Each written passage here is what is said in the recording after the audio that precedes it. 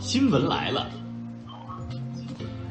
今天是二零二二年九月二十三日，星期五，农历八月二十八。首先进入要闻。在第五个中国农民丰收节到来之际，中共中央总书记、国家主席、中央军委主席习近平代表党中央，向全国广大农民和工作在三农战线上的同志们致以节日的祝贺和诚挚的慰问。农业农村部最新农情调度显示，截至目前，全国秋粮已收获二点六七亿亩，完成百分之二十点三，进度略快于上年。据国家发展改革委消息，为切实做好生猪市场保供稳价工作，本周国家将投放今年第三批中央猪肉储备。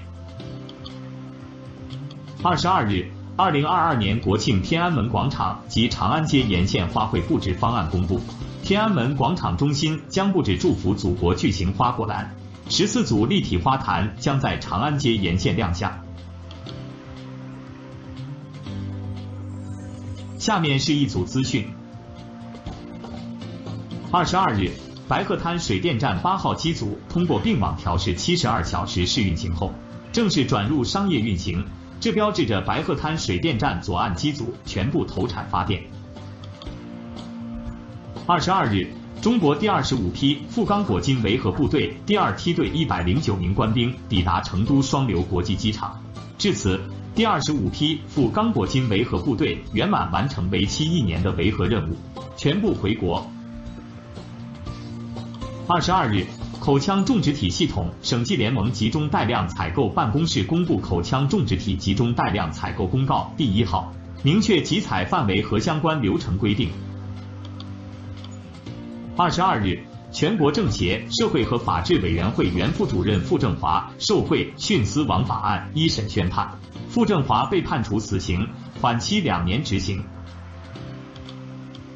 二十二日，江苏省委原常委、政法委原书记王立科受贿、行贿、包庇、纵容黑社会性质组织伪造身份证件案一审宣判，王立科被判处死刑，缓期两年执行。二十二日。儿童文学翻译家、作家任溶溶在上海离世。他曾创作儿童经典童话《没头脑》和《不高兴》。二十二日，二零二二年女篮世界杯，中国女篮以一百零七比四十四战胜韩国队，取得开门红。美国华盛顿邮报统计数据显示，截至九月二十日，全美今年已有至少一千零四十七人遭到警方枪击致死。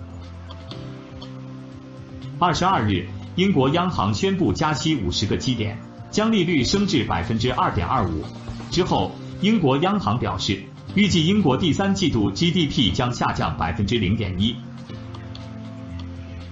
墨西哥国家地震局二十二日消息，该国西部米却肯州当天发生六点九级地震，造成首都墨西哥城两人死亡。接下来是服务信息。中央气象台二十二日十八时继续发布大风降温预报。二十二日夜间至二十四日，长江中下游以北部分地区气温将下降四至六摄氏度，其中陕西中部、河北南部、河南中北部、山东西北部等地局地下降六至八摄氏度。中央气象台预计，二十二日二十时至二十三日二十时。内蒙古东北部、黑龙江西北部、吉林东部、辽宁东部、四川南部及西藏东部等地部分地区有中到大雨，其中吉林东南部、辽宁东部等地局地有暴雨。